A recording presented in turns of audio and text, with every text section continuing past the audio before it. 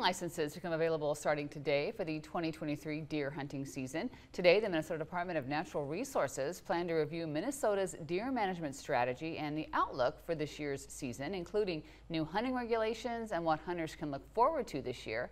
Another topic to be discussed is the DNR's continued efforts to stop the spread of chronic wasting disease in deer.